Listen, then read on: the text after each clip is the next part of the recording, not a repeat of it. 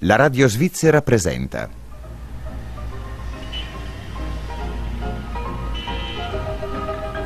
Una missione ufficiosa per il commissario Maigret.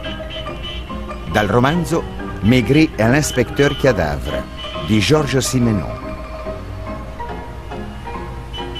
Traduzione e adattamento radiofonico in due parti di Enrico Colosimo. Regia di Adalberto Andreani. Prima parte. Una missione ufficiosa, se ho ben capito. Proprio così, ufficiosa. E mi permetta di aggiungere amichevole. Le confesso che sono davvero spiacente di averla disturbata per un caso inadeguato alla sua fama, caro commissario Maigret. Oh, lo prego. E oltretutto perché non è una questione di servizio, ma riguarda solo persone della mia famiglia. Più precisamente mia sorella Louise e suo marito Etienne No, figlio del più prestigioso mercante di bestiame della Vandea negli anni 30. Ora lei capisce la situazione. Sento ben, è un piccolo, piccolissimo paese. Lo vedrà anche lei. Si è lontani mille miglia da tutto. La gelosia, l'invidia, la cattiveria sono gratuite. Mia sorella Louise ne risente e sono preoccupato. Non è stata mai di costituzione forte, è un tipo nervoso che dorme poco ed è sensibile alle minime contrarietà. Suo marito, uomo eccellente e semplice, è continuamente preso di mira. Quanto a mia nipote Genevieve, che è anche la mia figlioccia, è una fanciulla come quelle che oramai esistono soltanto nelle favole. Se accetta, commissario, chiederò per lei un permesso straordinario di una settimana. E la riconoscenza di mia sorella e di mio cognato si unirà alla mia. Le ripeto, sono a sua disposizione. Ma adesso. eh, Permette, signor giudice. Prego. Ecco, a- adesso mi racconti i fatti in ordine e il più dettagliatamente possibile. Dunque, ah, sento ben, la casa dei No è vicinissima alla ferrovia che collega Niort a Fontenay-le-Comte. Mhm. Circa tre settimane fa, un giovane tale Albert Taillot, figlio unico di una vedova del paese, è stato trovato morto sulla massicciata. Nel primo momento tutti hanno creduto a una disgrazia e personalmente lo credo ancora. Poi sono corse voci, sono circolate lettere anonime. Per farla breve, mio cognato si trova in una situazione spaventosa. Lo accusano quasi apertamente di aver ucciso quel ragazzo. Mi aveva scritto una lettera piuttosto vaga e io ho scritto a mia volta per avere informazioni al procuratore di Fontenay-le-Comte. Eh, Contrariamente a quanto mi aspettavo, ho saputo che si tratta di accuse piuttosto serie, per cui sarà difficile evitare l'apertura di un'inchiesta. Ecco perché, caro commissario, mi sono permesso di chiamarla a titolo di amicizia, lo ripeto. Mm, Un momento, un momento. Perché accusano suo cognato? Quali potrebbero essere, secondo quelle voci, le ragioni, il movente? Il giovane trovato morto sulla massicciata sarebbe. Sì, sarebbe stato. come dire. il ragazzo del cuore di Genevieve. Qualcuno ha insinuato pure che i due si incontrassero in segreto, di notte addirittura. Ah, capisco. Il fatto è che tutti in paese affermano che Albert Retaillot era troppo contento di vivere e non era così stupido da attraversare i binari nel momento in cui passava il treno. C'è pure un altro particolare poco chiaro, il berretto del Retaillot, che è stato ritrovato il giorno dopo, non so dove. Questo è tutto quello che posso dirle io. Ah, sento ben, avrà altre informazioni più precise. Bene, d'accordo, signor giudice. Mi faccia sapere l'ora della partenza, commissario. Avvertirò mio cognato Etienne, che l'aspetterà alla stazione.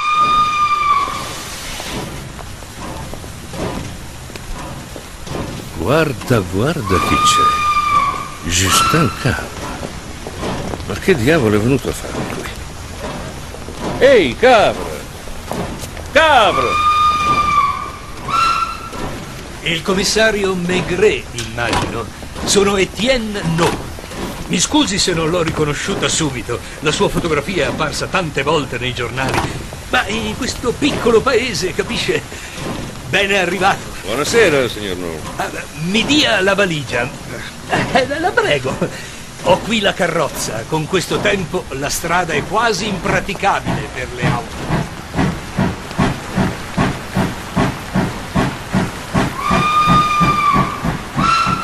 Salga, prego. E tiri il mantice sulle gambe, altrimenti si bagnerà le ginocchia. Andiamo contro vento.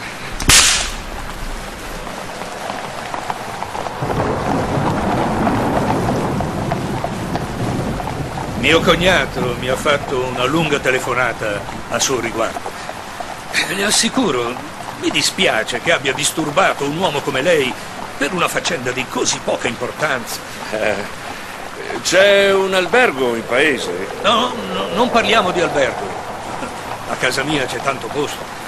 La sua camera è già pronta. Abbiamo posticipato la cena di un'ora perché si è pensato che non avrebbe potuto mangiare in viaggio. L'avverto subito che la nostra ospitalità è, è molto alla buona. Oh, la ringrazio. Mi chiedevo se un altro viaggiatore proveniente da Parigi, penso, sceso con lo stesso treno, forse l'ha notato. No, non lo conosco. Eh, volevo sapere se, se troverà dove alloggiare. Non so come mio cognato le abbia descritto il paese. Da quando se n'è andato per stabilirsi a Parigi, deve considerare Saint-Aubin come un villaggio insignificante. Ma un po' è cresciuto, sa, signor commissario. Lei non ha ancora visto niente perché siamo fuori dal centro, dove esiste un piccolo ma comodo albergo, il Lion d'Or, tenuto da mamma Tapenier, con bar, biliardino e un'ottima cucina, sa?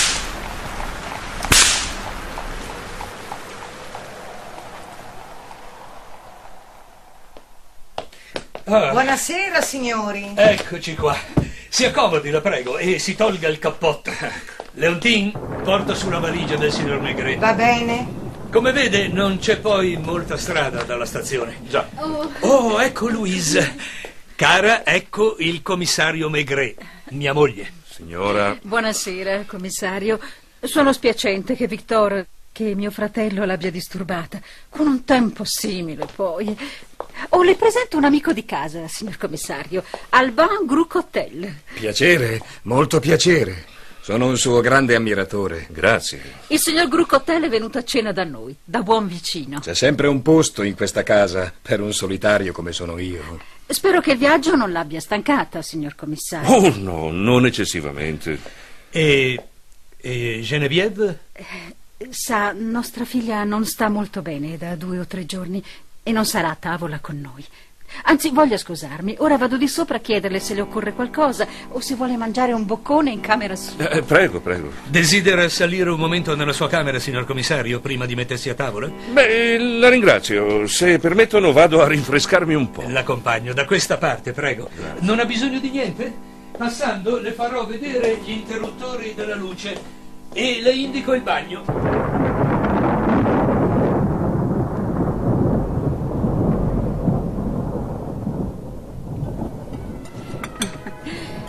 È un peccato, signor commissario, che sia venuto nel nostro paese a stagione finita. In piena estate la regione è così bella. Ah, sì, sì. C'è chi la chiama la Venezia Verde. Prende dell'altro gatto? No, grazie, basta così. Sono stato molto bene, una cena eccellente.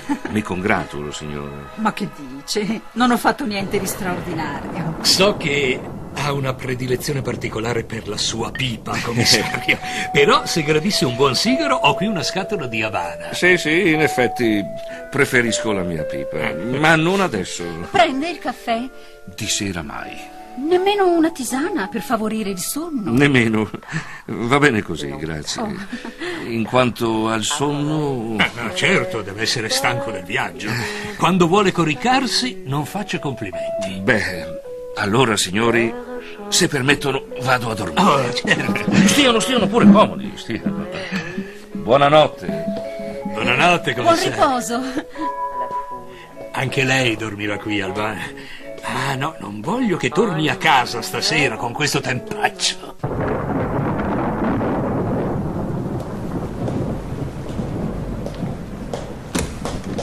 Commissario. Dovevo parlarle, scusi. Ma, ma perché qui? Zitto, non si faccia sentire. Ho solo due parole, solo questo da dirle. Sono incinta di Albert Ritaillot. Se mio padre lo viene a sapere, nessuno mi impedirà di uccidermi.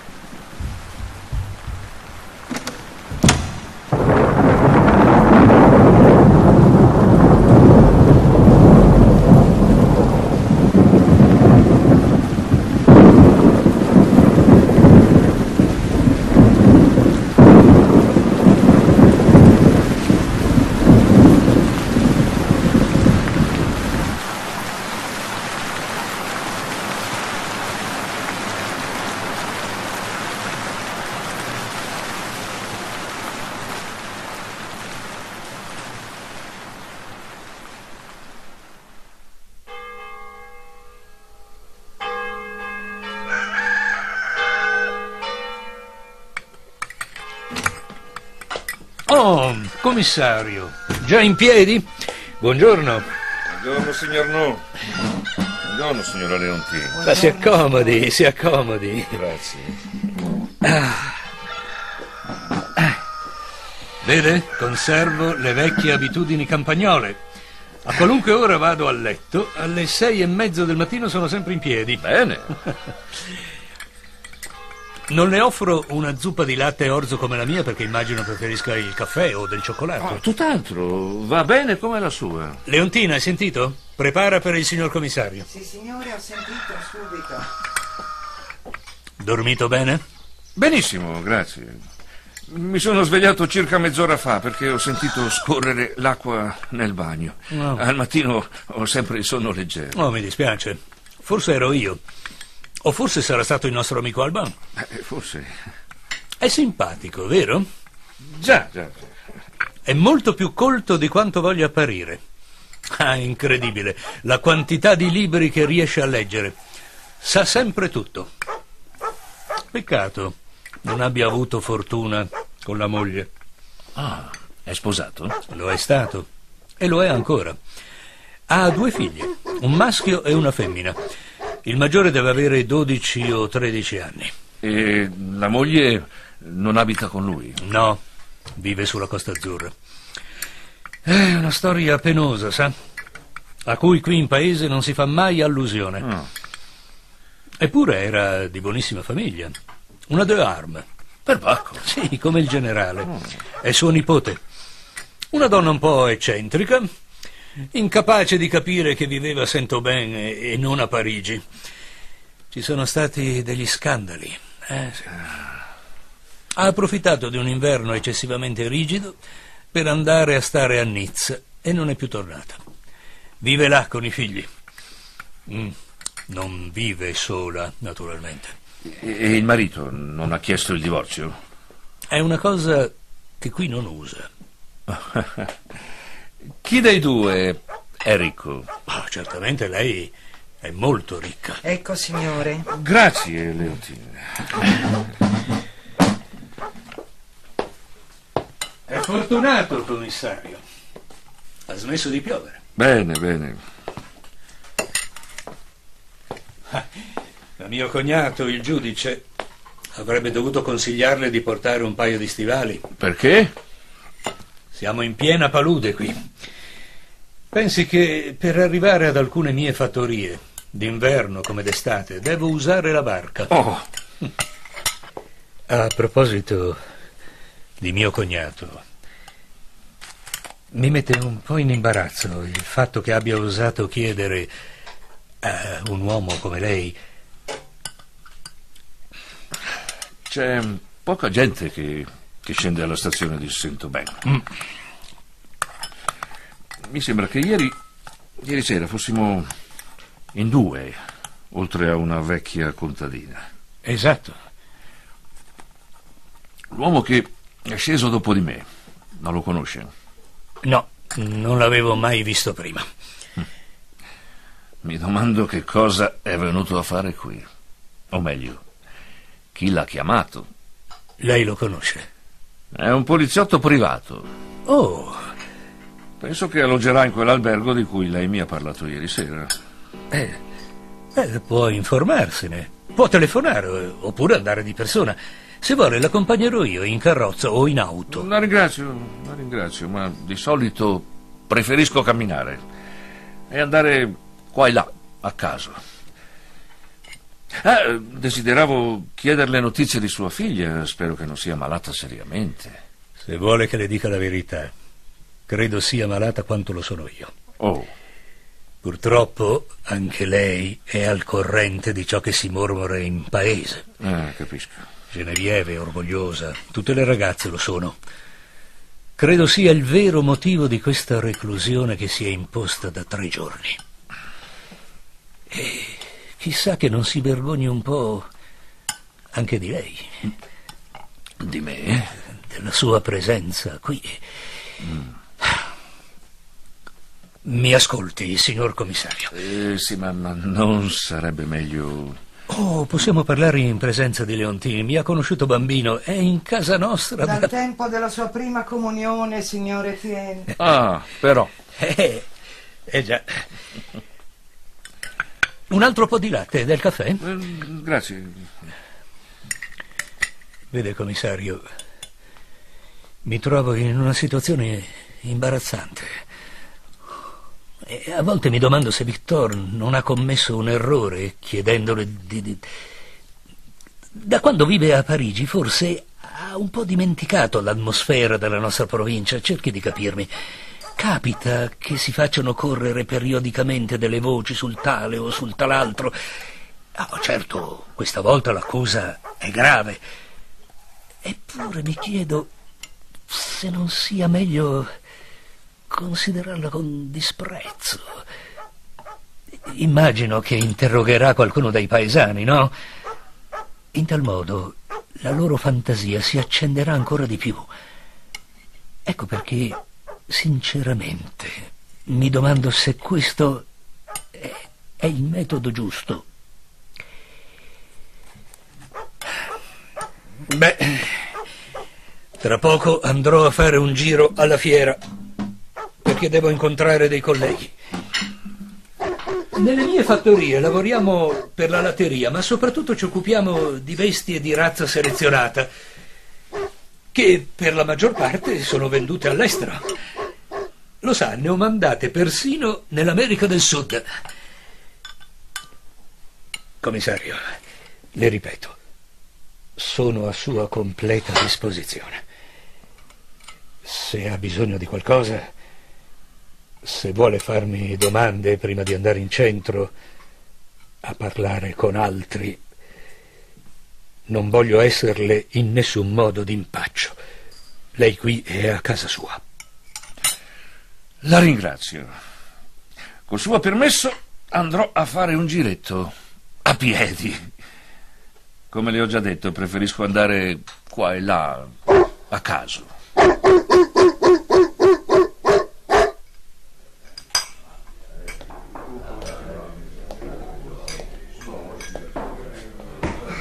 Buongiorno. Che cosa prende?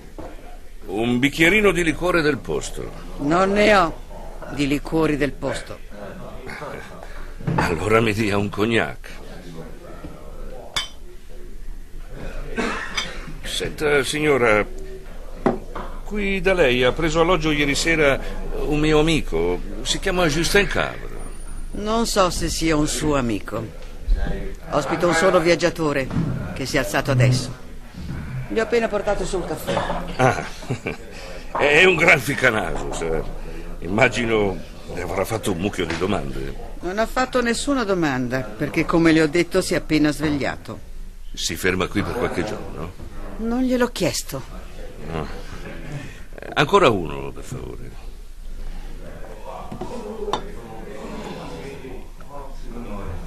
È qui nel suo albergo che il giovane Albert Retaillot ha passato la sera precedente la sua morte. Che gliene importa? Credo fosse un ragazzo rispettabile.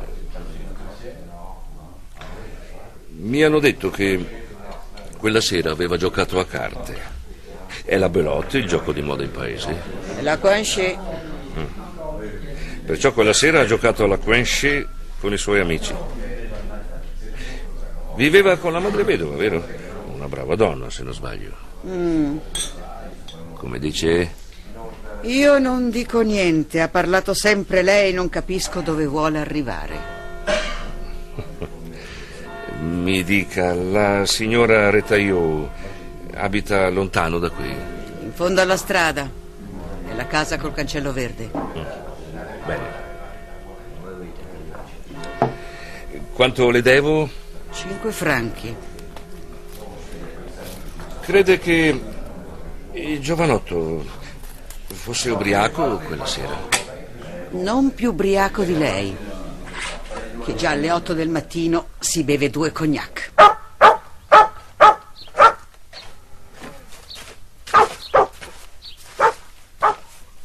Che cosa desidera? Sono stato incaricato di condurre un'inchiesta sulle voci che corrono a proposito della morte di suo figlio. Incaricato? Da chi? Sono il commissario Maigret della polizia giudiziaria, però l'inchiesta che conduco non è ufficiale, Che cosa vuol dire? che la giustizia non è stata informata del caso. Di quale caso? Saprà, signora, che sono corse voci qui in paese su questo argomento. Non si può impedire che la gente parli. Suo figlio era fidanzato? No. Non sa di nessuna relazione femminile, magari nascosta? Albert era troppo giovane per occuparsi delle donne. Era serio.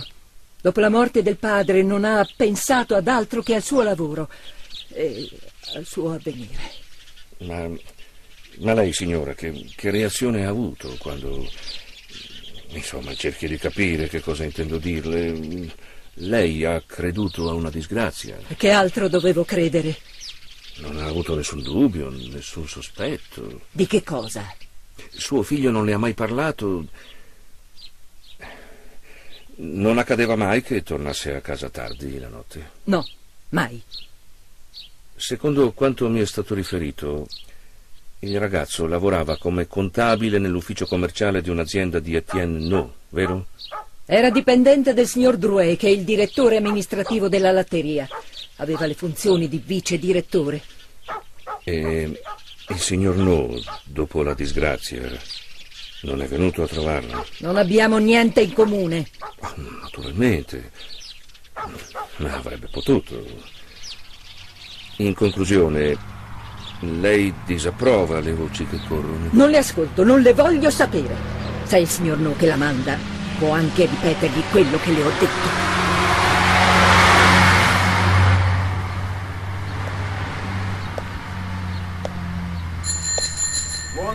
Buongiorno, commissario. Sono contento di incontrarla. Buongiorno, signor Grucotel. Per fortuna oggi non piove Già. e ho potuto avventurarmi in bicicletta. È un vero peccato che non sia venuto qui col bel tempo, Eh. quando il nostro paese è un po' più presentabile. Già, già, è un vero peccato. Vuol farmi il piacere di prendere con me un aperitivo? Beh, eh, grazie. Potremmo andare all'osteria dei Trois Mille, in fondo alla strada. È un locale modesto, ma si trova ancora qualche bottiglia di vecchio porto. La ringrazio. Sono spiacente di non poterla invitare a casa mia, che è un po' distante da qui. È a due passi dalla casa dei No. Ah, A, proposito, che ne pensa dei miei amici? Una famiglia simpatica, vero? certamente. Non c'è uomo migliore di Etienne. Mm, forse un tantino orgoglioso. Davvero? Ma di un orgoglio così ingenuo, così sincero. È molto ricco, sa? E quell'adorabile signora Louise. E poi non ha conosciuto ancora la signora Valentine, la madre. La madre? Viene da una grande famiglia della Vandea. Pensi che non vuole essere di disturbo alla figlia e al genero, e perciò vive da sola. È alla bella età di 82 anni, ha ancora buone gambe, buoni occhi e una perfetta lucidità. e, e Genevieve, cosa può dirmi della signorina No? Attraente. Mm, sì, lo si può proprio dire. Penso avrò occasione di conoscerla presto, poiché la sua indisposizione sarà passeggera. Ah, eh, certamente. Eh, ecco, siamo arrivati. Ah. Prego, prego. Va bene il porto? Va benissimo. Il solito, Gerard. E i due bicchieri. Eh, volevo chiederle, signor Gru, lei conosceva quel retaillot? Di vista. Sembra che sua madre sia una donna di carattere. Meritava una vita ben diversa da quella che ha avuto. Del resto era anche di buona famiglia. Ed è stata una sorpresa per tutti, qui a Sento Bene, quando ha sposato un modesto operaio. Se si fermerà per qualche giorno, le farò conoscere il paese, perché ci sono persone davvero interessanti. Un mio zio, che è stato ambasciatore a Lisbona, amava ripetere che nelle campagne della nostra Vandea, qua e là, si incontrano figure straordinarie. Sì, sì, certo, certo, signor Gru. Ma ora la prego di scusarmi. Sa, al, al mattino c'è sempre così poco tempo a disposizione. Oh, la sua inchiesta, è vero. E mi dica, andrà avanti? Ha delle speranze? A mio giudizio, sarebbe necessario mettere le mani sulla persona che è all'origine di tutte queste false voci. Ah, lei ha un'idea? Io? No, affatto. Mi raccomando, non si metta in testa che io abbia la minima idea in proposito. Le consiglio invece di fare una visita al signor Lequeux, il segretario comunale. Lui sa sempre tutto di tutti. Il municipio è a due passi da qui.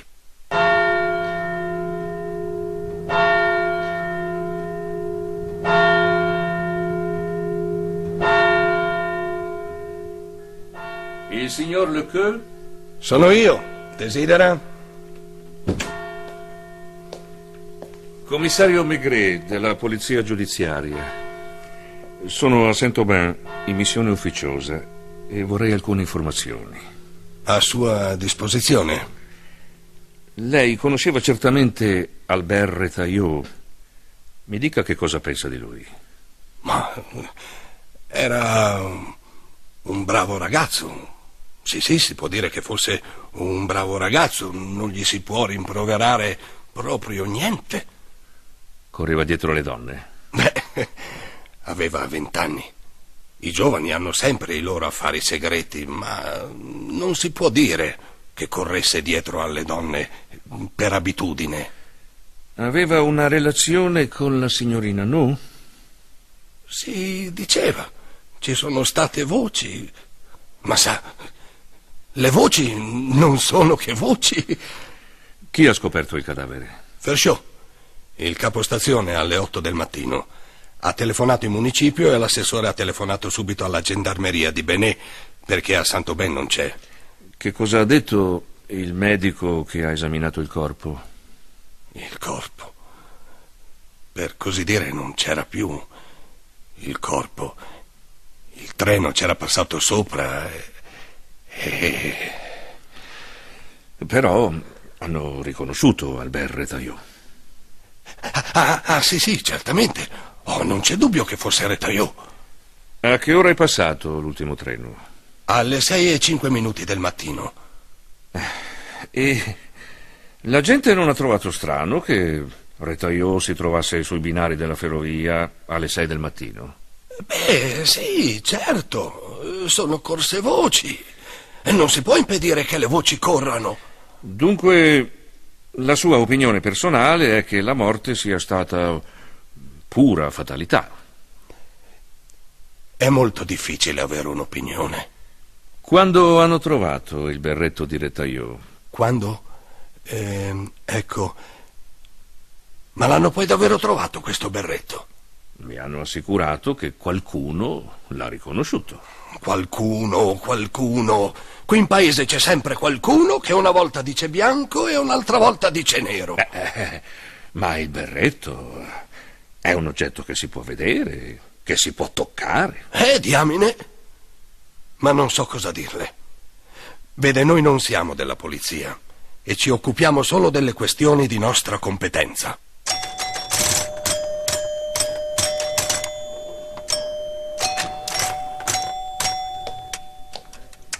Salve, sono sempre io. Lo vedo. Cosa le servo? Ancora cognac? No, no, eh, mi dia un bicchiere di vino bianco, grazie. Va bene.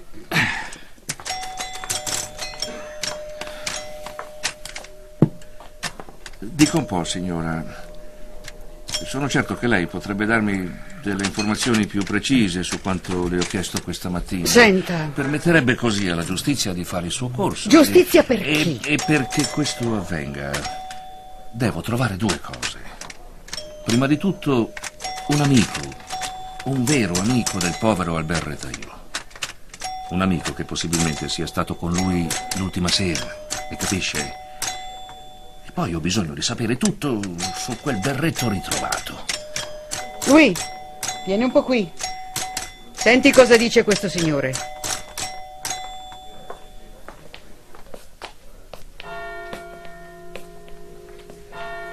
Chi è che la manda? Sono il commissario Maigret della polizia giudiziaria. Perché è andato ospite in casa dei Nu? Perché il signor Nova è stato avvertito del mio arrivo ed è venuto a prendermi alla stazione.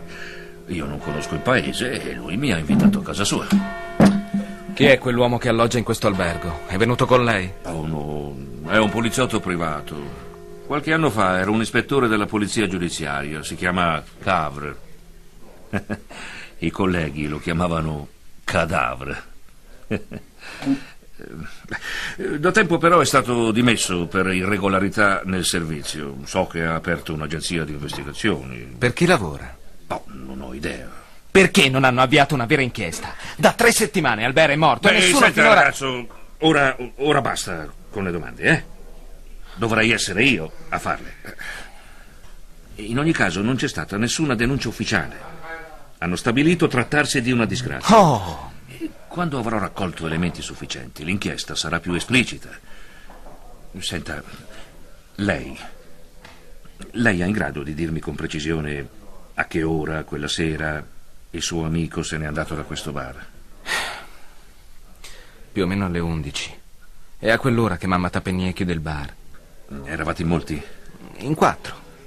Avevamo fatto una partita a Quenchet. Siete usciti tutti insieme? Due hanno preso a sinistra. Io ho accompagnato Albert per un pezzo di strada. In che direzione? In direzione della casa dei No. Le ha fatto delle confidenze? No. Non le ha detto che cosa andava a fare dai no? No, era furioso. Ah, era furioso. E contro chi? Contro di lei. Lei? Ah, parla della signorina No. Le aveva parlato di lei prima? Sì. Che cosa le aveva detto? Tutto e niente. Andava da lei quasi tutte le notti. Era innamorato e si vedeva. Non poteva nasconderlo. E, e l'ultima volta dice era furioso. Sì. Per tutta la sera, giocando a carte, si vedeva che pensava ad altro e guardava continuamente l'ora. Anche dopo, per strada, quando l'ho accompagnato. Fino dove? A 300 metri dalla casa dei No, più o meno. E è sicuro che poi abbia continuato ad andare avanti? Sì. Mi ha detto, quasi con le lacrime agli occhi, stringendomi le mani. È finita, mio caro lui. Finito? Che cosa era finito? Tra lui e Genevieve. Così almeno ho capito io. Voleva dire forse che ci andava per l'ultima volta. Eh, ma poi ci è andato davvero. C'era la luna quella sera. L'ho potuto vedere fin quando era a pochi metri dalla casa. E, e il berretto? Ce l'ho io a casa. Ah. Mi aspetti qui, vado a prenderlo. Ci metto un minuto, abito qui accanto.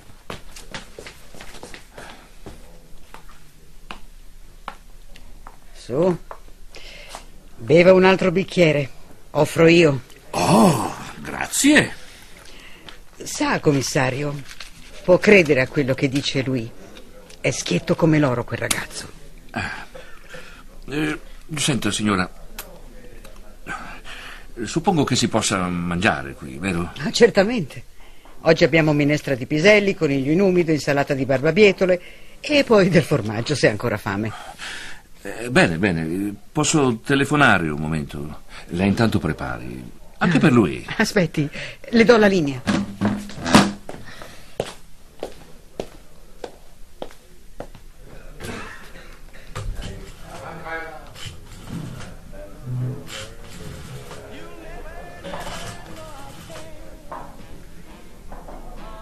Eh, pronto?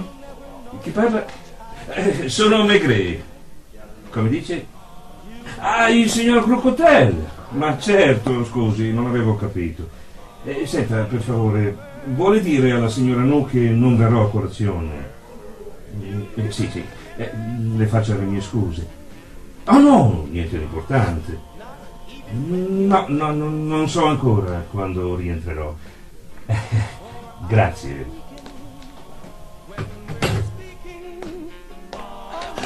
Commissario, signor commissario, l'hanno rubato. Il berretto l'hanno rubato. Deve essere venuto qualcuno mentre mia madre era uscita per la spesa. Ma che può essere, signor commissario? Non ci capisco più niente. Ora lei non mi crederà più, però io le giuro. Sì, che- sì, sì, sì, ti credo. Non agitarti, mettiti a sedere, vai. Mangeremo un boccone insieme. eh? Nel frattempo mi racconterai. Eh, signora, quando è pronto, può servirci, per favore, con due birre. Va bene la birra? Sì, grazie. Ah, bene. Eh, Adesso raccontami tutta la storia del berretto. Allora, la stessa sera del funerale del povero Albert, un vecchio ubriacone che si chiama Desiré è entrato qui, ha gettato sul tavolo un berretto e ha chiesto di chi fosse. Io l'ho riconosciuto subito perché ero con Albert quando l'ha comprato a Niort e abbiamo discusso insieme il colore. Desiré aveva bevuto un po' come al solito. C'erano almeno sei persone nel caffè. Io gli ho domandato dove avesse trovato il berretto. Deve sapere che Desiree ritira il latte nelle piccole fattorie del mare e siccome sarebbe impossibile andarci in camion, fa il suo giro in barca. L'ho trovato tra i canneti, mi ha risposto, proprio a fianco del pioppo morto. Tutti qui in paese sappiamo che il pioppo morto si trova proprio tra la casa dei Nu e la massicciata della ferrovia, cioè il posto dove poi è stato scoperto il corpo di Albert stritolato dal treno. È il berretto di Albert Retaillot, hanno detto da un tavolo vicino. E Desiree, per quanto fosse brillo, si è accigliato. Ha capito che non avrebbe dovuto trovarlo nel punto in cui l'aveva trovato. Gli chiesi: Sei sicuro, Desiree, che fosse vicino al pioppo morto? Perché non dovrei esserne sicuro? Non so perché in quel momento mi è venuta l'idea di cacciarmi quel berretto in tasca. Forse prevedevo già che a qualcuno poteva interessare che non si parlasse più della faccenda. Bene, signor commissario, l'indomani Desiree non voleva più ricordare niente.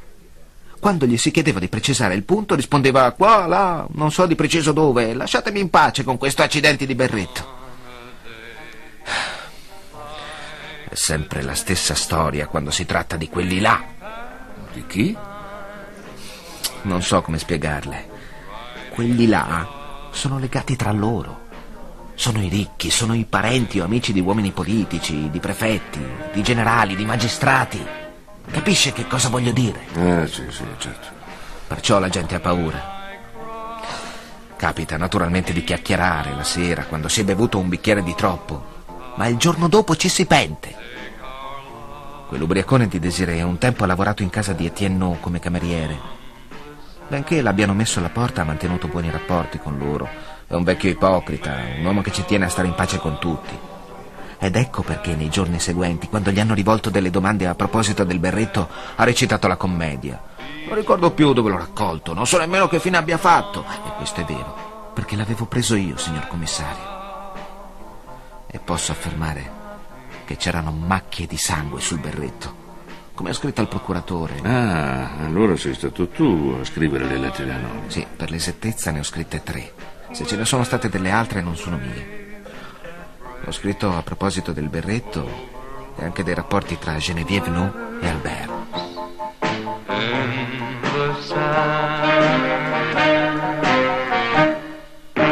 No, lo sai che non voglio prendere medicine. io. Bene, mamma. Oh, chiedo scusa per il disturbo. Pensavo che non ci fosse nessuno. Prego, prego, si accomodi, signor Maigret. Grazie.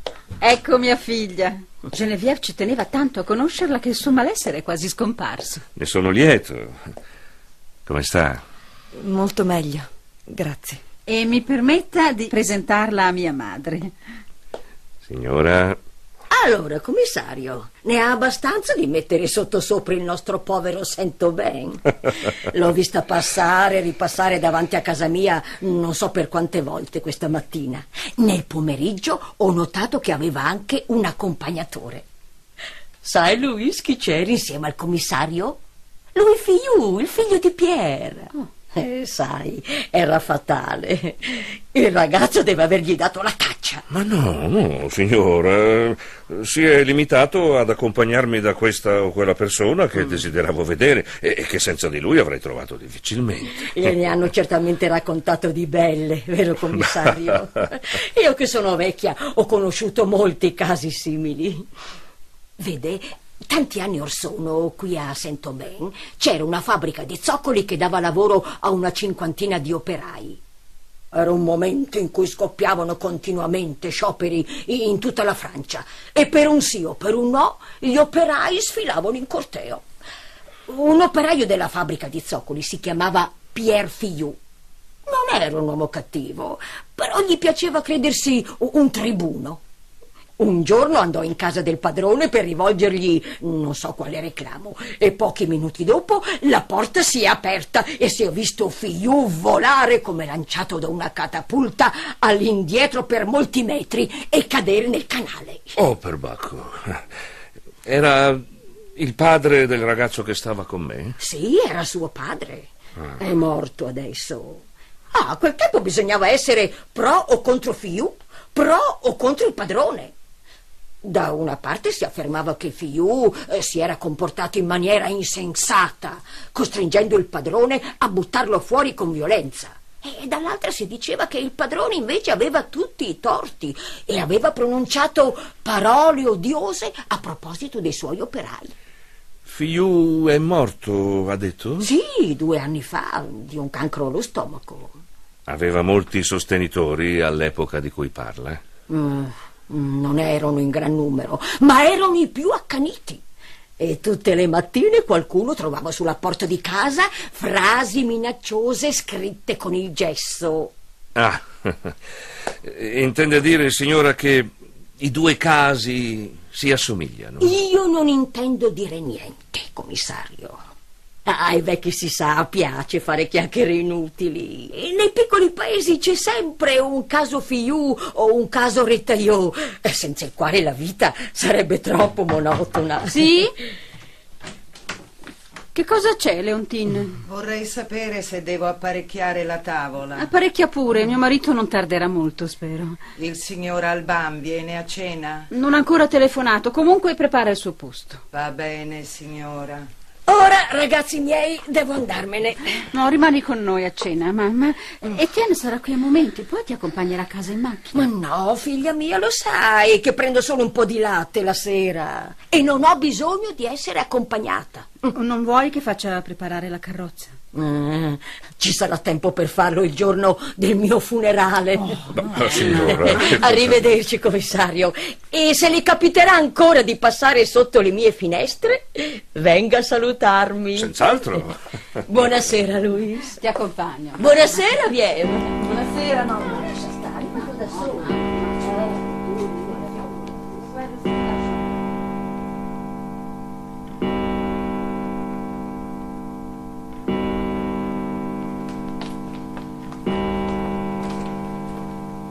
Fame, signor Maigret? Eh, beh, Oh, se vuol fumare, la prego, non faccia complimenti. grazie, signora. Genevieve, vuoi servire un aperitivo al commissario?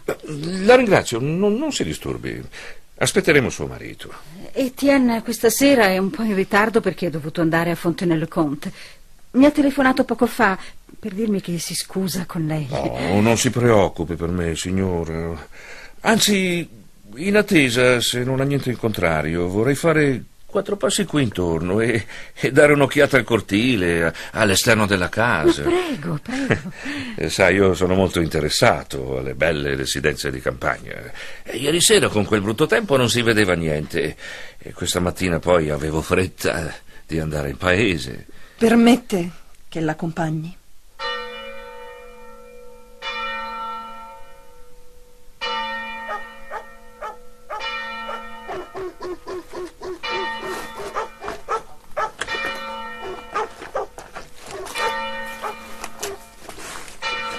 La sua stanza è, è quella proprio sopra di noi, vero? Sì, capisco che cosa vuole dire. Lui non entrava dalla porta, naturalmente. Venga. Vede quella scala di legno? La lasciano sempre in quel posto. Doveva soltanto spostarla di qualche metro. Sì. Dov'è la stanza dei suoi genitori? Tre finestre più in là. E le altre due finestre? Una è la stanza degli ospiti, l'altra è la camera che non serve più, da quando la mia sorellina è morta. E soltanto mamma ne ha la chiave. I suoi genitori non hanno mai sospettato niente? No, La vostra relazione durava da molto tempo. tre mesi e mezzo. E Retaillot conosceva le, le conseguenze sopravvenute. Sì, Che intenzioni aveva? confessare tutto ai miei genitori e sposarmi. Perché l'ultima sera era furioso? Eh, le ho domandato... Ho sentito, E allora? non capisco. Perché dice che era furioso? Non è successo niente di particolare tra di voi quella sera? No, niente. Albert è uscito dalla finestra come sempre. Sì, l'ho visto allontanarsi verso l'estremità del cortile per scavalcare il muricciolo e raggiungere la strada. Che ora era? Circa mezzanotte. Aveva l'abitudine di trattenersi con lei così poco? Che vuole dire? È arrivato dopo le undici. Immagino che di solito non se ne andasse così presto. Non avete litigato? Perché avremmo dovuto litigare? Non so, glielo domando. No, Quando doveva parlare ai suoi genitori? presto. Aspettavamo un'occasione.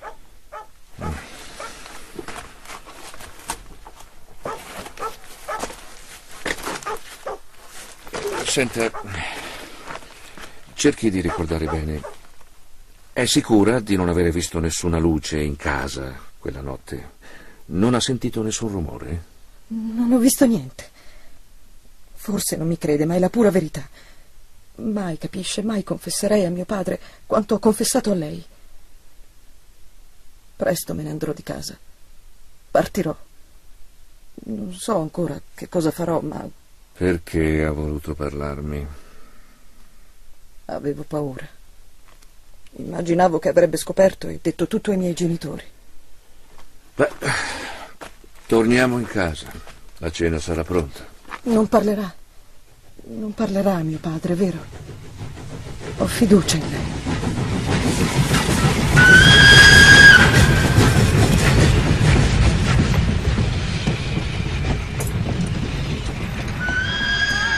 Eh, quando hanno costruito questa casa quasi un secolo fa, non si prevedeva che la strada ferrata sarebbe passata un giorno quasi sotto le nostre finestre. Ah, certo, ci si abitua, soprattutto perché circolano pochissimi treni, cinque in tutto il giorno. Questo è l'ultimo, proprio quello con cui è arrivato lei. Il prossimo è al mattino alle 6 e 5. Eh, ma a, a che pensa, commissario? Ah, niente, mi scusi. Mi capita qualche volta di, di distrarmi. Chiedo scusa. È ottima la sua torta di riso, signora. Grazie. Niente fa più piacere a una padrona di casa che il vedere apprezzata la sua cucina. Ah, eh, commissario Megre, stamattina a Fontenay ho avuto occasione di incontrare il procuratore. Oh. In realtà Alba è, quasi suo parente per il ramo femminile, credo, avendo sposato una de Armes di Cholet. I De Armes di Cholet non sono imparentati con la famiglia del generale. Sono oriondi di Nantes, ne sono certo. Ah sì. Lo sa, signor commissario, il procuratore mi ha molto rassicurato. Certamente, come ha già risposto a Victor, um, al giudice Brejon, un'inchiesta sembra inevitabile, ma sarà un'inchiesta puramente formale per quanto ci riguarda. Gli ho riferito che lei è qui. Ah, e, e che cosa le ha detto di me? L'ammira molto. Ha sempre seguito nei giornali la maggior parte delle sue inchieste e appunto perché l'ammira, si meraviglia che mio cognato abbia voluto disturbare un uomo come lei per un caso così banale. Capisco. E lei, signor Maigret, adesso che ha visto un po' il paese e interrogato la gente, che ne pensa? Beh, so che ha conosciuto il figlio di Fiu, il giovane Louis. Vogliamo andare a prendere il caffè in salotto? Servi tu il caffè, Genevieve, se non sei troppo stanca. Mi sembri pallida. Forse sarebbe meglio andarsi a coricarti. Ma no, mamma. Io chiedo scusa, desidererei ritirarmi presto stasera. Beh, rinuncio al caffè. È un'ottima decisione, sa? Da parte mia voglio fare un giro in paese di sera. Se, se non le dispiace, faremo la strada insieme per un po', signor Grucotel. Et depuis, j'ai beaucoup voyagé.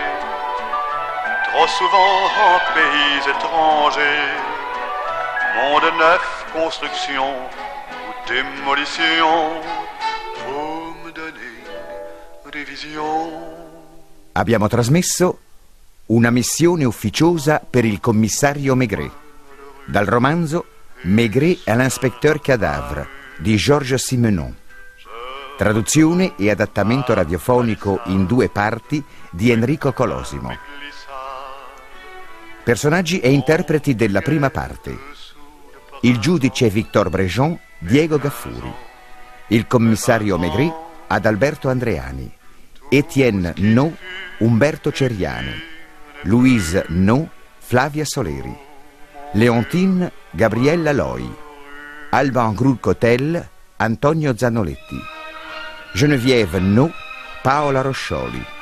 Mamma Tapegnier, Pinuccia Galimberti la signora Retaillot Relda Ridoni, il segretario Lequeux Nicola De Buono, Louis Fillou Flavio Arras, Valentine Brejon Giuliana Rivera. Presa del suono Gianfranco Pongelli. Editing e sonorizzazione Massimo Scampicchio. Regia ad Alberto Andreani.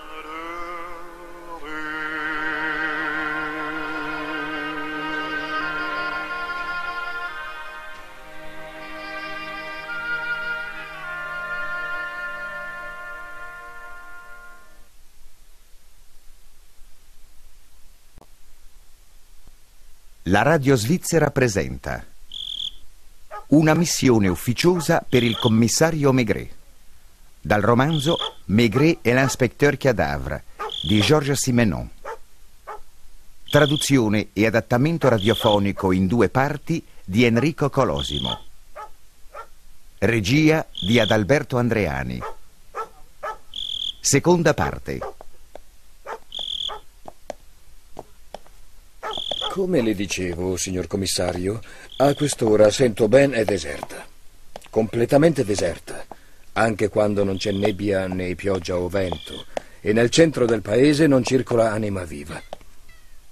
Resta aperta fin verso le dieci solo l'osteria dei Trois dove siamo stati questa mattina, e il bar dell'albergo che chiude un po' più tardi, credo.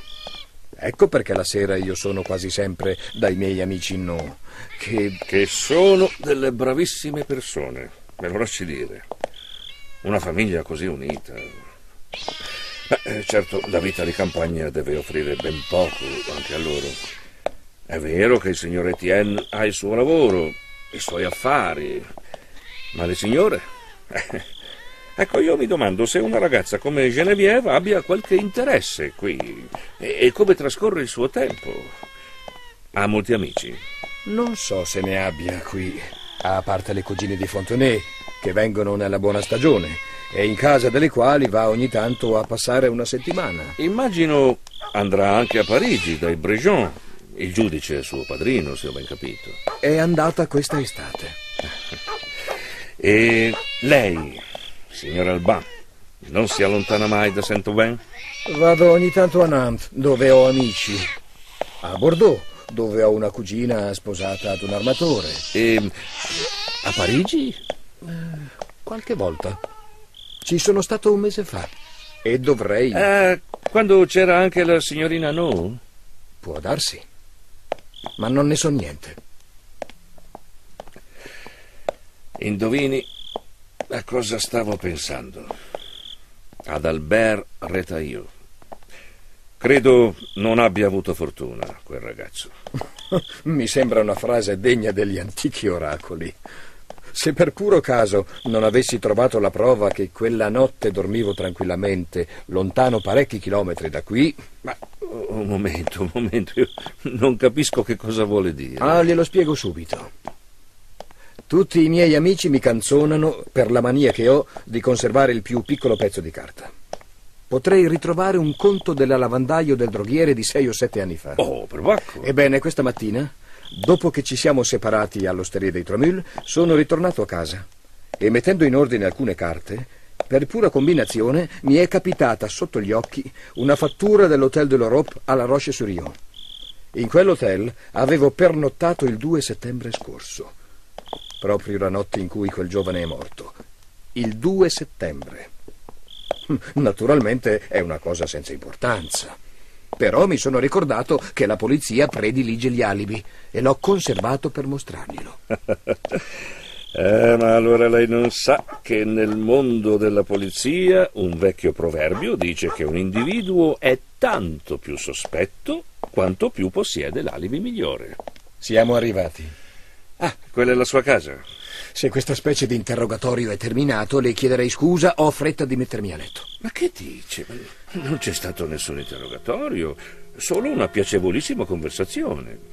Spero non le dispiacerà se l'accompagno ancora per qualche passo. Per essere sincero, vado soggetto a dolorose nevralgie quando scende la nebbia. E proprio in questo momento ho una crisi in arrivo.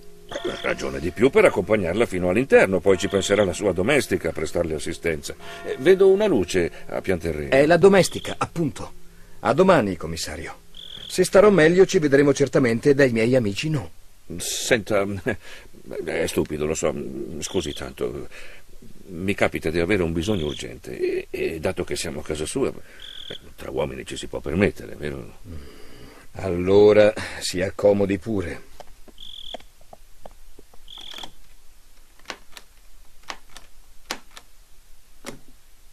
Faccio strada. Prego, venga avanti. Le mostro dov'è il bagno. Oh, oh guarda, guarda! L'ispettore Justin Carr. Ma che cosa ci fa qui, mio vecchio e caro amico? Dov'è la cameriera? E lei che cosa desidera? Il signor Gruccotel, immagino. Le chiedo scusa di scomodarla a quest'ora, avevo due parole da rivolgerle. La donna che mi ha aperto mi ha detto che non avrebbe tardato molto a rincasare. Ma bravo. Come? Ho detto solo bravo. Che vuole insinuare? Non insinuo niente.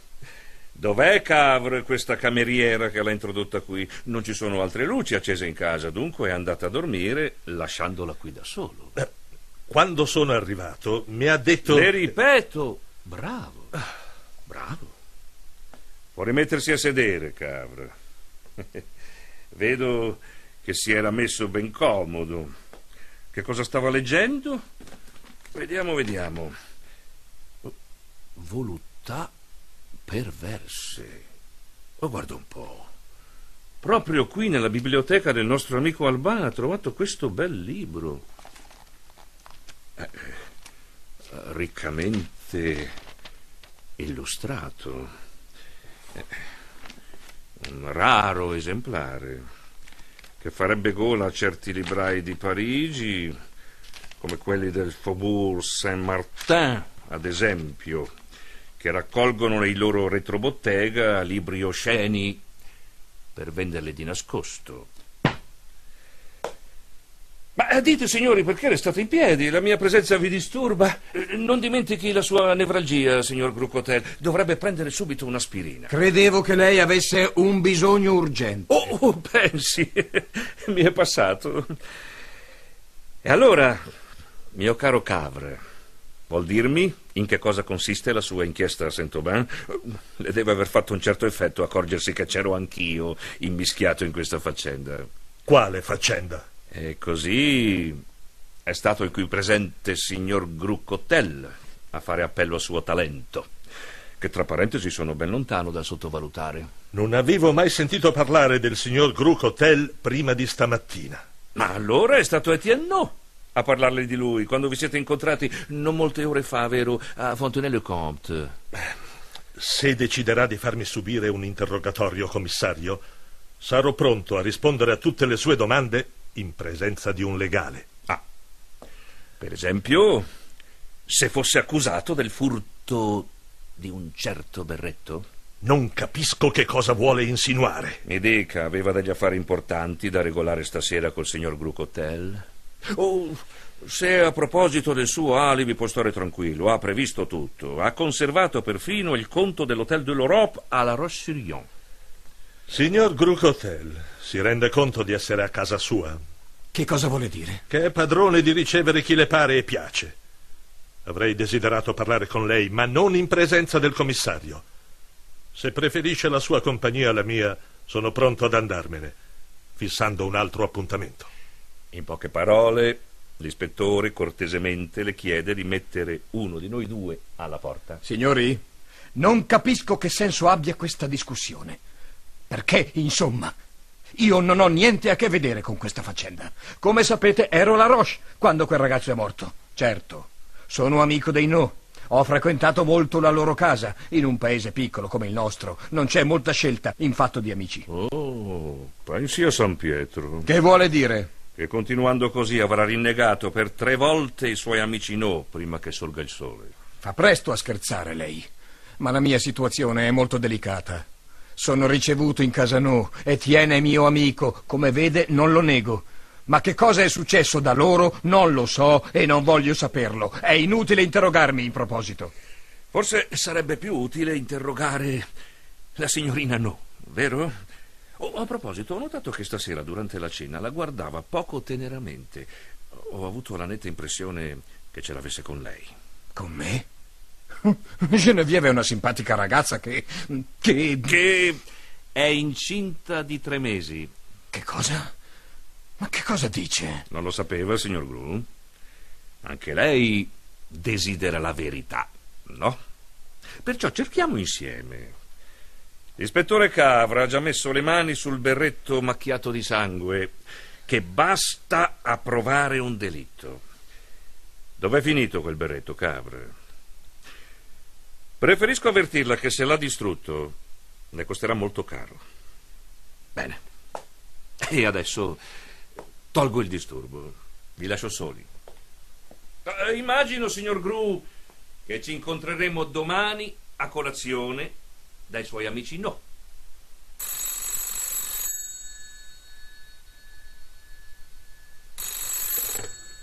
Pronto? Sono il giudice Brejon. Chi parla? Victor, non mi riconosci? Sono tuo cognato. Etienne no. Ah, come stai? Ci sono novità? Ecco, Victor, non, non si può dire che ci siano novità, no. D'altronde ti scriverò. Forse verrò a trovarti a Parigi. Il commissario Maigret è arrivato bene? Che cosa ne pensi? È proprio a proposito del commissario che ti telefono. Non vuole occuparsi della tua faccenda? No, se ne occupa troppo. Senti, Victor, devi assolutamente trovare il modo di farlo tornare a Parigi. Non posso dirti niente ora, ma ti assicuro che è indispensabile. Capisco. Cioè, non capisco e non saprei come fare, credimi a... Ma, ma n- non sei in buoni rapporti col capo della polizia? Sì, naturalmente potrei chiedere al direttore della polizia giudiziaria, ma è una cosa delicata. Prima o poi Megre verrebbe a saperlo. E sai, ha accettato di venire da te soltanto per farmi un favore personale. Insomma, tu vuoi che tua nipote e tua figlioccia abbia delle noie? Come noie? Credi che sia così grave? Ma se ti dico... Vuoi farmi parlare con mia sorella? Lei cosa ne pensa? E Genevieve? Me ne infischio di quello che pensano le donne. È assolutamente necessario che tu faccia partire da qui il tuo commissario della malora. Ma che cos'hai? Si può sapere? Cosa? Oh, che se questa storia continua, tutto il paese sarà in effervescenza. Non si potrà più venirne fuori e la mia posizione diventerà insostenibile. Quel poliziotto ficca il naso dappertutto e non dice una parola. Calmati, proverò. Quando? Domattina. Vedrò il direttore della polizia giudiziaria appena aprono gli uffici. Ma ti confesso che questo modo di fare non mi piace affatto. In tutta la mia carriera. Victor, lo farai allora? Mm, se ti dico di sì. Oh, manda un telegramma. Arriverà certamente in mattinata. Così potrà prendere il treno delle tre.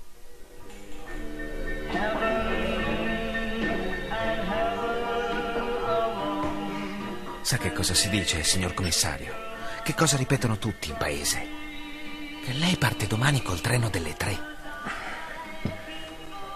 Forse.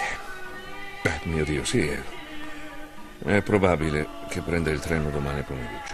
Così loro l'hanno avuta vinta. Si dice anche questo. Di quell'altro poliziotto, quello che lei chiama cadavere. Raccontano che è venuto qui chiamato dal signor No. Ma c'è chi pensa che sia venuto per il signor Grucotel. Eh, a proposito di Grucotel, è stato sempre amico intimo dei Nu? Beh, non sempre, no. La casa di Grucotel appartiene da molto tempo alla famiglia. Ma quando io da bambino andavo a giocare lì vicino, era disabitata. Me lo ricordo perché siamo entrati molte volte in cantina attraverso un finestrino che non si chiudeva. Il signor Alban viveva allora in casa di parenti, che credo avessero un castello in Bretagna. Quando è tornato e ha preso possesso della casa, era sposato da poco tempo. Allora io avevo sei o sette anni. Ricordo che sua moglie aveva una piccola auto gialla, la guidava personalmente e andava sempre in giro da sola. La famiglia frequentava i no? Certamente no. Lo dico perché ricordo che il signor Brucotel era sempre in casa del vecchio dottore, che era vedovo. Mi sembra ancora di vederli vicino alla finestra, intenti a giocare a scacchi. Se non sbaglio, è a causa della moglie che non vedeva i Nu. Lui era andato a scuola insieme al signor Nu. Si salutavano per strada. Li ho visti parlarsi qualche volta sul marciapiede, ma niente di più.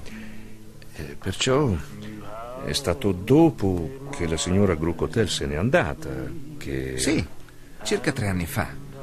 La signorina No, ricordo bene, aveva terminato il collegio. È stata a lungo in collegio a Niort e la si vedeva soltanto una domenica su quattro. Me ne ricordo anche perché quando la si incontrava, a parte le vacanze, si sapeva che era la terza domenica del mese. Ed è stato proprio allora che il signor Brucotel ha cominciato a passare metà delle sue giornate in casa dei No. Non vanno anche in vacanza insieme? Sì, alle Sable d'Olon. I No hanno una villa anche lì. Ah, eh. Era. Era davvero furioso. Chi? Il tuo amico Albert. Mi avevi detto che quando ti ha salutato l'ultima sera. Ah, sì. Era sovraeccitato. Prima di andare all'appuntamento aveva bevuto parecchi bicchieri. Non ha detto niente? Aspetti. Ah, sì, sì, sì, ha detto qualcosa. Eh, sì, ecco. Che certamente non sarebbe rimasto a lungo nel nostro sporco paese. Ah. Da quanto tempo Albert era l'amante della signorina Nu? Non lo so di preciso. Deve essere cominciato verso la fine dell'anno scorso. Non era innamorato prima? Non so. Comunque non ne parlava. Forse temeva che il padre... È lui, vero? Chi? Il signor No. È stato lui ad uccidere Albert. Non lo so. E poi potrebbe non avere alcuna importanza. Che cosa ha detto? Nessuna importanza. Vedi, lui, anch'io, come te, vorrei che tutto fosse bello e pulito sulla terra. Anch'io soffro e mi indigno quando... Commissario, non lascerà perdere. Che cosa? Mi promette di non partire senza averlo smascherato. Te lo prometto.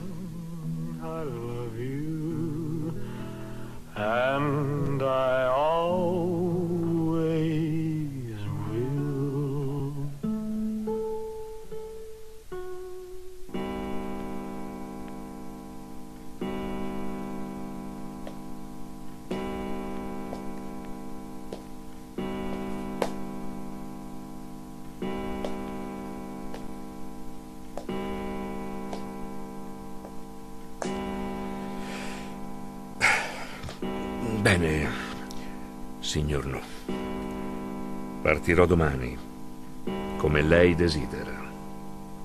Ma perché dice così, commissario? Sa bene di essere il benvenuto qui. La mia famiglia e io abbiamo per lei ammirazione e simpatia. Si è ingannato sul mio conto, signor No. Il giudice Brejon mi aveva chiesto, per favore, di venirla ad aiutare in una faccenda delicata. Ma ho subito capito, mi creda, che lei aveva male interpretato il suo pensiero, che non era questo il genere di aiuto che si aspettava da suo cognato, a cui aveva scritto in un momento di smarrimento per chiedergli consiglio. Gli aveva solo accennato alle voci che correvano in paese, senza dirgli ben inteso la verità. Ma, signor commissario. E lui, uomo di legge, coscienzioso e abitudinario, le ha mandato un poliziotto per tirarla fuori dagli impicci. Sarei ripartito sin dal mio arrivo, mi creda. Sin dai primi contatti avuti insieme, se lei non si fosse rivolto precedentemente a Justin Cavre e se io, proprio per la presenza di costui, non mi fossi incaponito al gioco. Naturalmente, dato che non sono in missione ufficiale, non devo render conto di nulla a nessuno. Non ha niente da temere da me, signor No. E io posso quindi tranquillamente parlarle. Ha vissuto settimane di incubo, non è vero? E anche sua moglie, che sono sicuro è al corrente di tutto. Adesso, signor No, le rivelerò il fondo del mio pensiero. E lei comprenderà perché non sono partito senza dir niente, cosa che sono stato sul punto di fare. Mi stia a sentire e non si affretti a interpretare male le mie parole.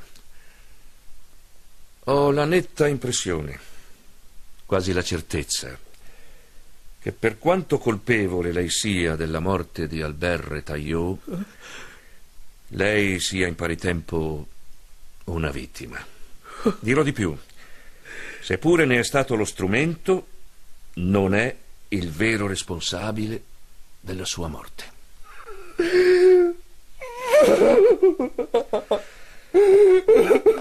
Bene, bene, bene, bene, bene. Ora, se vuole, mi racconterà francamente i fatti. D'altronde è appena necessario, almeno per i fatti di quella sera, facili a ricostruire. Quanto agli altri, non è la stessa cosa. Che vuole dire? Lei non aveva alcun sospetto sui rapporti esistenti tra sua figlia e quel giovane? Ma, ma signor commissario, io non lo conoscevo neppure, voglio dire, lo conoscevo di vista, ma, ma non avrei mai saputo dare un nome alla sua figura. Mi chiedo ancora dove Genevieve abbia potuto incontrarlo. Dunque, quella sera lei, signor No, era andato a dormire? Sì. Anche sua moglie? Sì, sì.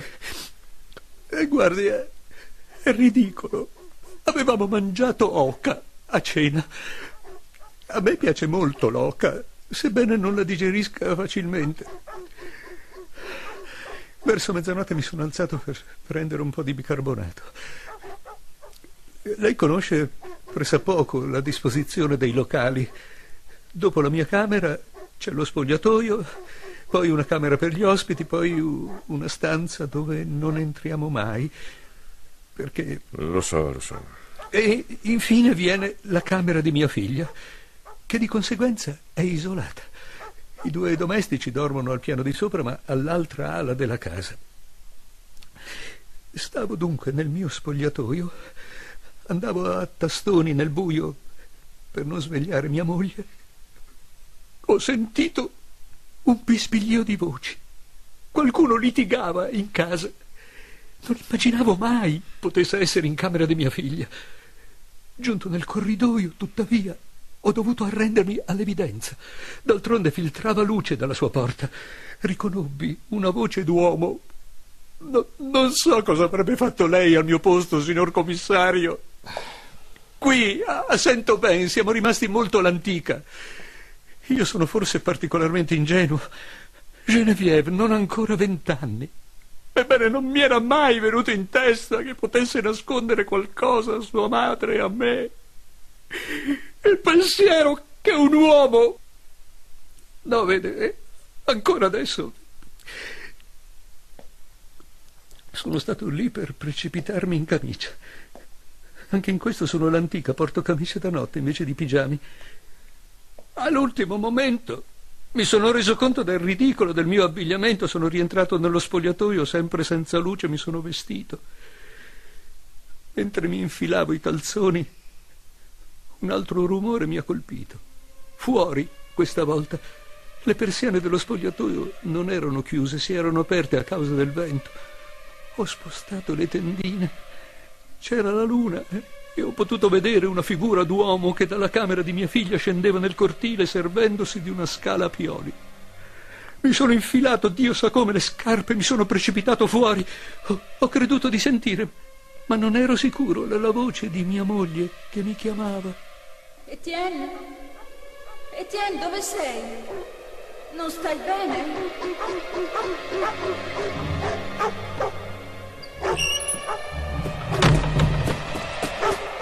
Si fermi!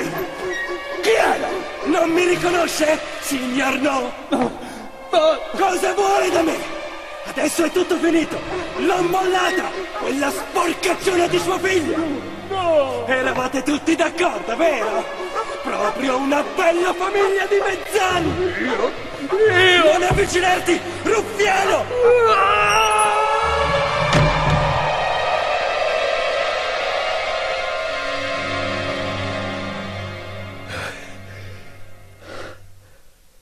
La migliore volontà del mondo non saprei raccontarle esattamente quello che avvenne. Lui era più infuriato di me, ma più padrone di se stesso. Mi ingiuriava, ingiuriava mia figlia, scherniva me, mia moglie, la mia casa. Per mia figlia ha usato le parole più oscene. Non sono neppure capace di ripeterle. E allora non, non so come. L'ho raggiunto e ho cominciato a colpirlo. Con che cosa? Con che cosa? Cioè, non so se ha notato la chiave del portoncino che dà sul cortile. È una chiave antica, enorme, oh, un vero martello. Io, io non, non, giurerei di averla presa per distrazione, uscendo nel cortile, ma, ma neanche con premeditazione, perché non, non avevo in mente di servirmene per uccidere. Continui. Il ragazzo, con uno scatto improvviso, mi ha dato una testata nello stomaco. E per il dolore provato ho colpito più forte. Lui è, è caduto. Allora io sono scappato via per rientrare in casa. Le giuro che tutto questo è la verità. La prima idea fu quella di telefonare subito alla gendarmeria di Benet pensato a mia figlia. Ho pensato che se avessi detto la verità. Cerchi di capirmi. Sono ritornato sui miei passi. Era morto. E... L'ha trascinato sulla strada? Lontano da qui? Sì. Da solo? Sì.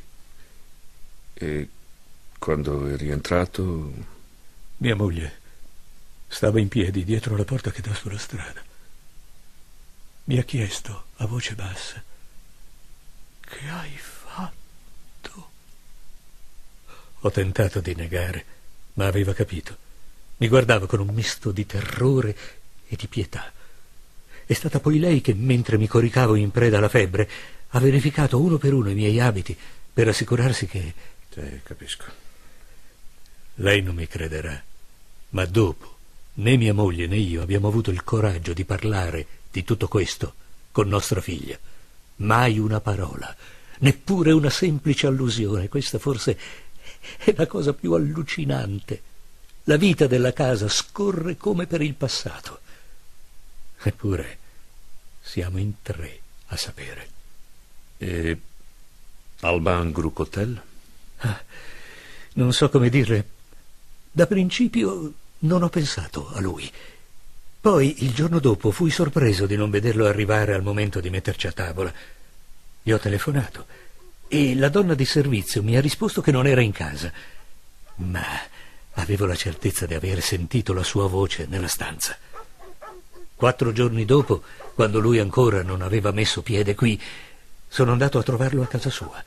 Volevo conoscere la ragione del suo silenzio. Non avevo intenzione di parlare, eppure gli ho raccontato tutto. Lui mi ha riferito quello che si diceva in paese. Ero al corrente perciò dei primi sospetti. Allora un'idea fissa si è impadronita di me e non mi ha più lasciato. Quella di riscattare il mio gesto. Non sorrida, la prego. Ne ho visti tanti, tanti altri, pronti a riscattare le loro colpe, signor No. Forse che gli altri, come lei dice, si sono comportati così stupidamente. Sono forse andati a trovare un bel giorno la madre della loro vittima, come ho fatto io? Sì, sì, sì, ci sono andato. Di sera, tardi, dopo che Alban si fu assicurato che non c'era nessuno sulla strada. Non le ho confessato la verità. Le ho detto solo che le era capitata una grande disgrazia. Già vedova, adesso era senza sostegno. Avevo in tasca venti biglietti da mille franchi divisi in due mazzi. Non sapevo come tirarli fuori, come posarli sulla tavola. Avevo vergogna di me, avevo vergogna di lei. Tuttavia, riuscii a mettere il denaro sulla tavola. Ogni anno, signora, mi farò un dovere di... A meno che non preferisca che versi in una sola volta a suo nome una somma. Ecco. Certamente ho avuto il torto di non confessare tutto, sin dall'inizio. Dopo era troppo tardi. Nella mia casa, apparentemente, non era cambiato nulla. Io non so dove Genevieve abbia trovato il coraggio di vivere come se niente fosse accaduto. Quando ho capito che alcuni in paese mi sospettavano, quando ho ricevuto delle lettere anonime e ho saputo che ne avevano mandate altre alle autorità comunali, stupidamente ho scritto a mio cognato. Immaginavo vagamente che i magistrati avessero il potere di soffocare uno scandalo, come frequentemente si sente dire. Invece ha mandato lei qui proprio quando io avevo appena scritto a un'agenzia privata di Parigi. Sì, sì, commissario, ho fatto anche questo. Ho scelto un indirizzo a caso nelle colonne degli annunci di un giornale. Cavr Investigazioni. E io, che non mi sarei confidato col fratello della mia Louise, ho dovuto raccontare tutto a uno sconosciuto, perché avevo assoluto bisogno di un suggerimento. Ieri mattina, quando mio cognato mi ha avvertito del suo arrivo, ho telefonato subito all'agenzia Cavr. Prendemmo appuntamento per il giorno dopo a Fontenay. Che altro vuole sapere, signor commissario? Scommetto che fra tutti i criminali che lei ha conosciuto non ce n'è uno così idiota, così meschino. Mi chiedo... Ma sì, che dopo tutto potremmo telefonare al suo amico al Bangruk Hotel. Non deve essersi ancora coricato. Se non è troppo stanco, signor No, penso faremmo meglio a finirla questa notte, in modo che io possa prendere il primo treno domani. Ma perché? Perché forse non è finita. Permette? Non si incomodi. Resti pure seduto. Il numero di telefono del suo amico lo ricordo benissimo.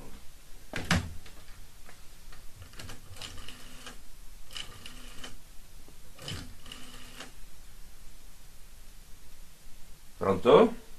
Signor Grucotel? ha riconosciuto la mia voce? Come sta? La sua nevralgia? Bene, bene. Eh, sì, sono a casa del suo amico, sì. Eh, chiacchieriamo. Come? Oh, si direbbe che lei abbia indovinato ciò che stavo per dirle. Desidereremmo che lei facesse un salto fin qui. Ah, no, no, niente di particolare. Eh, sa, io parto domani. Affari importanti mi chiamano a Parigi. Come dice? Dieci minuti? È troppo. Faccia più alla svelta. A presto. Grazie. Verrà subito. È molto preoccupato. Lei non può immaginare in che stato l'abbia messo la mia telefonata. Perché? Non ha ragioni per... Crede? Non le dispiace se vado a prendere una birra in cucina? Non, non sarebbe meglio un, un bicchiere di Borgogna? Io preferirei una birra, ma, ma se non ne ha... Sì, ce ne deve essere in cantina. Ne ordino sempre qualche cassetta, ma poiché ne beviamo raramente, non so. Adesso vado a vedere. Lasci, lasci stare, non si disturbi. Va bene il Borgogna.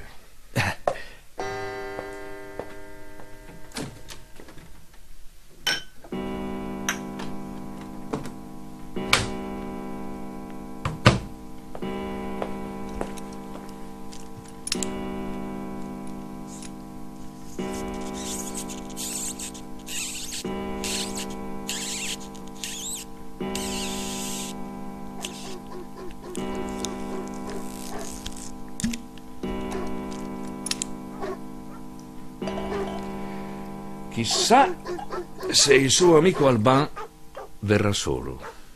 Che intende dire? Oh, niente, niente. Vorrei fare una scommessa. Ecco, non c'è più tempo per la scommessa.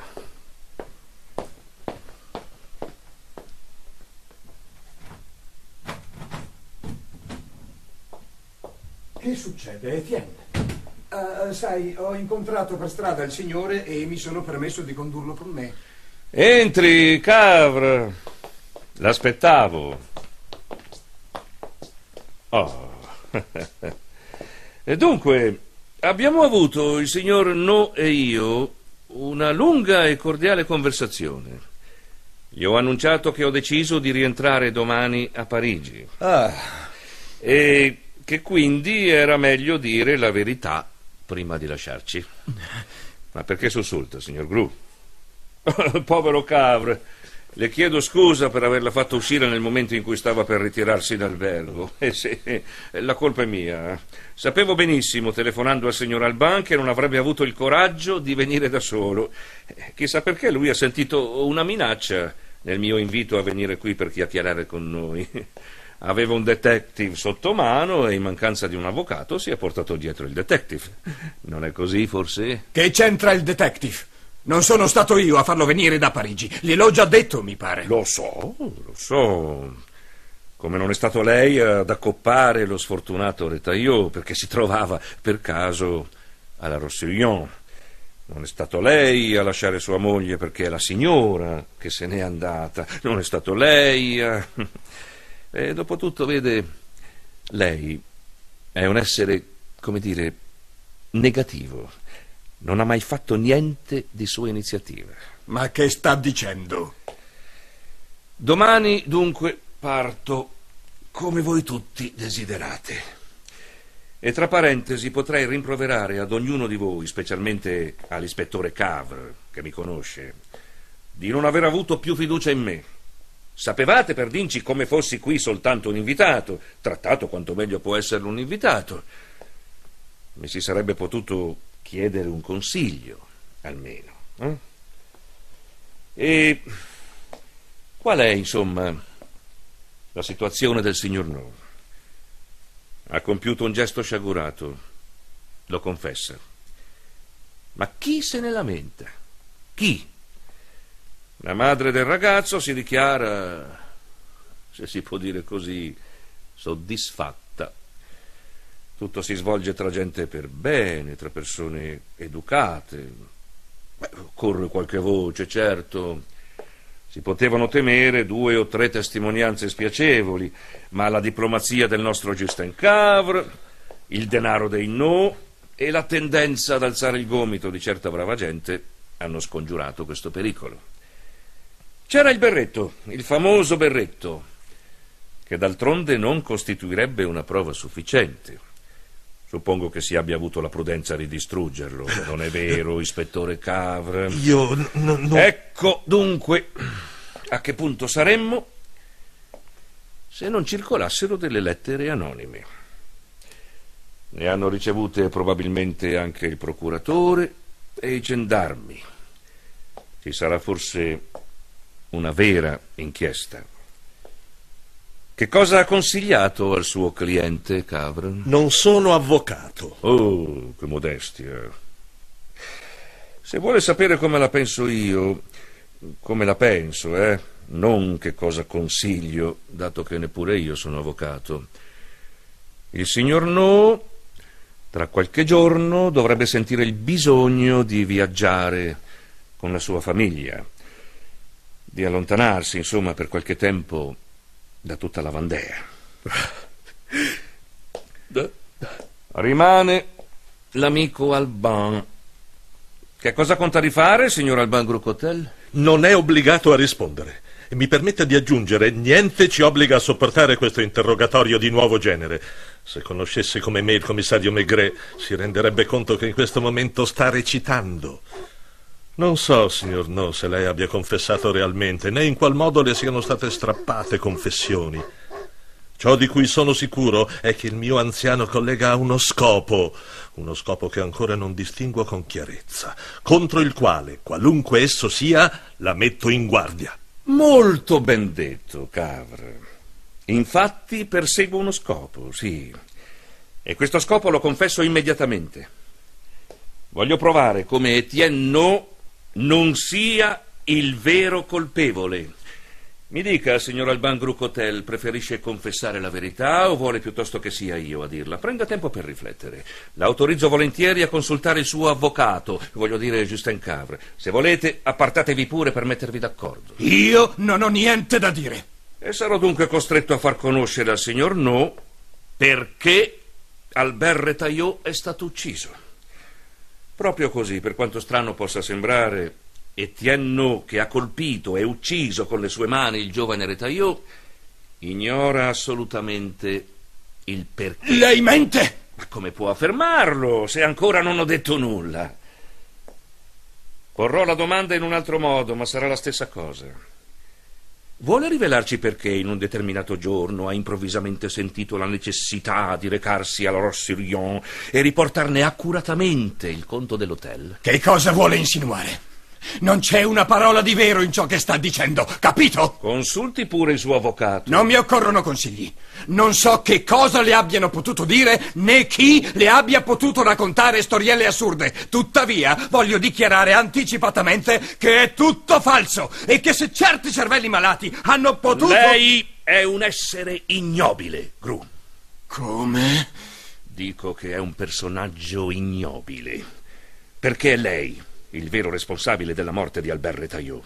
E se la giustizia degli uomini fosse perfetta, l'ergastolo sarebbe troppo poco per lei. Personalmente avrei tanto piacere di accompagnarla ai piedi della ghigliottina. Signori, vi prendo come testimoni. Non soltanto. Lei ha ucciso Retaillot, ma ha distrutto altre persone. Io? Io? Lei è pazzo, commissario. Lei è pazzo da legare. Dove sono quelle persone? Me lo dica, per favore, su. Me lo dica, subito. Che aspettiamo, signor commissario? Presto, presto! Genevieve sta male! Etienne, signor Maigret, Eh, su, si muova, no? Che Oddio cosa aspetta? mio. Vada su. Genevieve!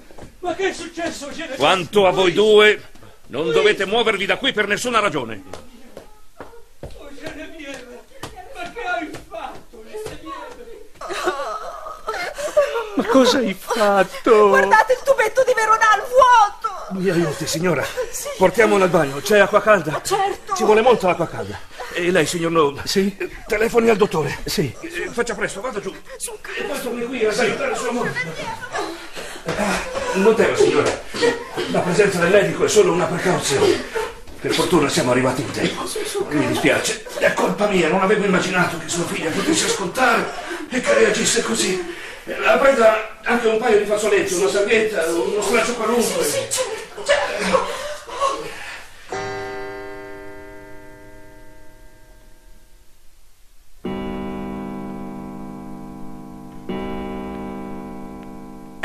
stata Genevieve a incominciare. Eh già, è stata lei senza dubbio, appena uscita dal collegio di Niort, appena diciottenne, ad esibire dei libri, diciamo, come quelli che ho trovato nella sua biblioteca, signor Grocotel. Io non gliene ho mai dati. E non le ha mai spiegato gli argomenti di certe incisioni erotiche che ho intravisto sempre nella sua biblioteca. Non sono il primo uomo della mia età ad avere per amante una ragazza. Io non l'ho costretta. Lei era innamorata.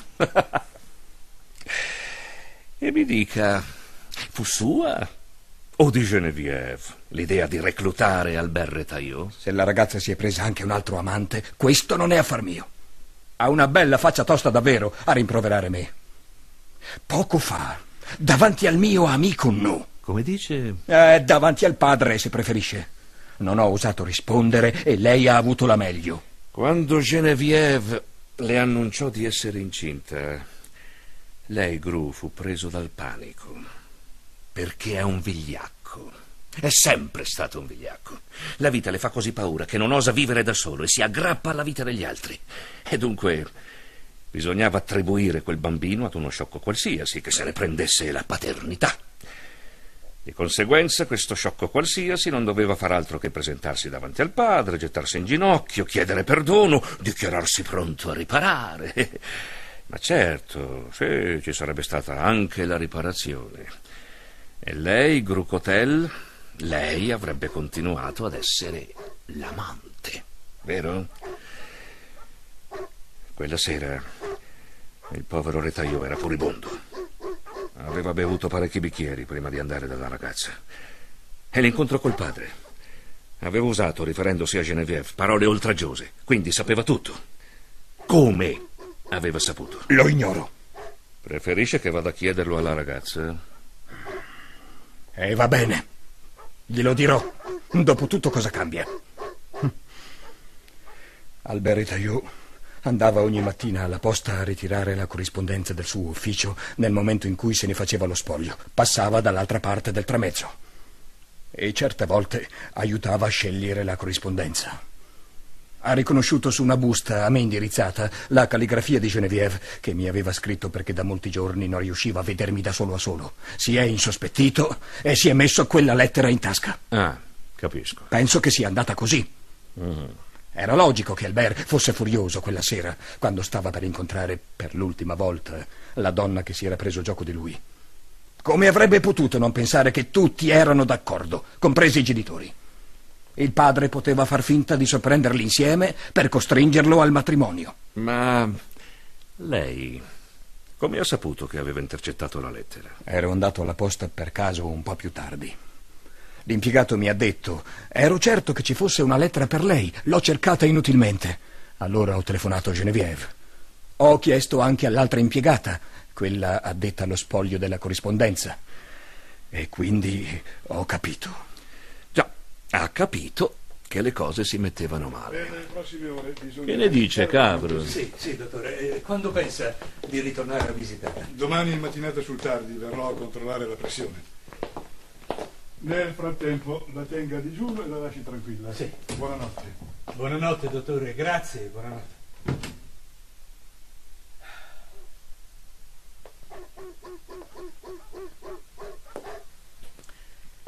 Sembra che, che ogni pericolo sia stato scongiurato dal suo rapido intervento, signor commissario.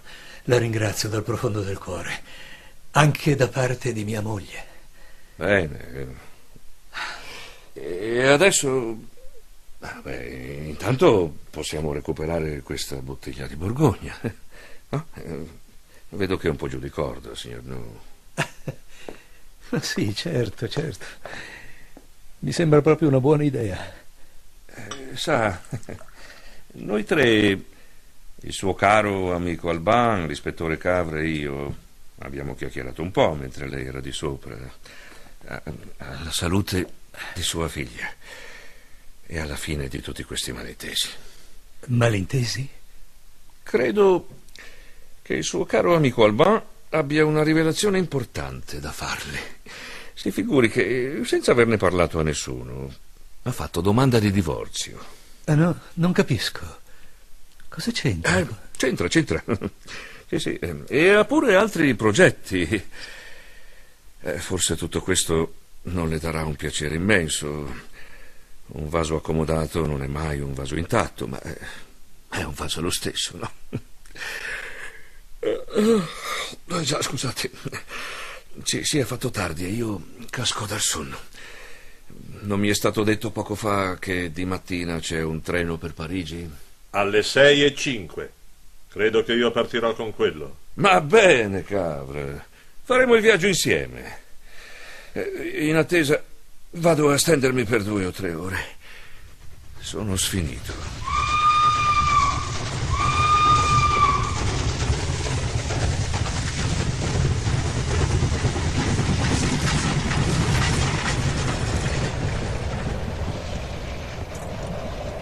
Ha avuto altre notizie della ragazza prima di partire? Genevieve sta bene. A quell'età si supera facilmente anche una forte intossicazione. Lei sa certamente, Cava, che io non l'ho mai potuta sopportare fin dagli anni ormai lontani del suo servizio nella polizia giudiziaria. Già, Si tratta certamente di una questione di simpatia o, o di antipatia. Ma che Scusi. dice? Eh sì, sì, è, è proprio così e, e non posso farci niente. Tuttavia, le voglio confidare una cosa. C'è un'espressione ricorrente che mi sembra la più insulsa di tutto il frasario universale, un'espressione che mi fa sussultare ogni volta che la sento. Sa qual è? No. Tutto si accomoda. Vede, mi stavo chiedendo a che servirebbe fare imprigionare Etienne.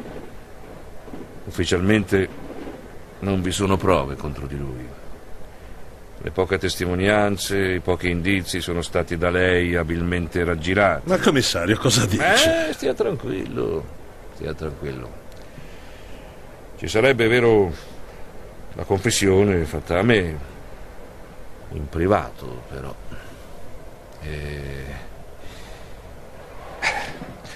Il caso potrebbe solo smuovere un mucchio di fango, poi Genevieve sarebbe infamata davanti a un tribunale, eccetera, eccetera. E quanto a quella canaglia di Alban Group Hotel, non verrebbe nemmeno disturbato. E alla fine si sarebbe felicemente liberato delle sue responsabilità.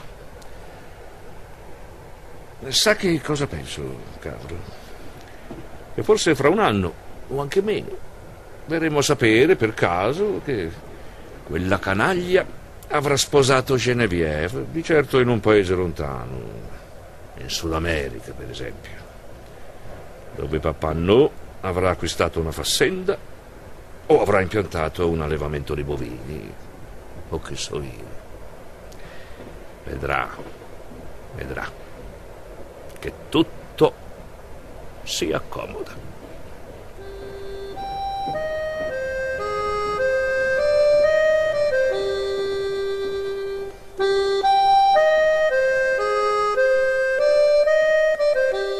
Abbiamo trasmesso una missione ufficiosa per il commissario Maigret dal romanzo Maigret e l'inspecteur Cadavre di Georges Simenon.